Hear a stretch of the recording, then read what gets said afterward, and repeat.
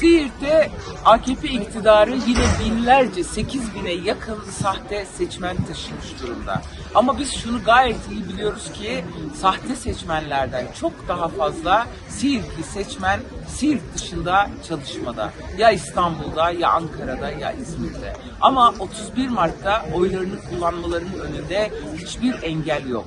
Siirt'te oy kullanacak olan seçmenler Siirt'te değilse mutlaka 31 Mart'ta Siirt'e gelip oyunu kullanmalılar. Eğer olanaklarınız el vermiyorsa il ve ilçe örgütlerimiz vasıtasıyla sizleri mutlaka Siirt'e ulaştıracağız. Unutma senin oyunla kazanacağız ve 31 Mart'ta zafer halayını hep birlikte çekeceğiz.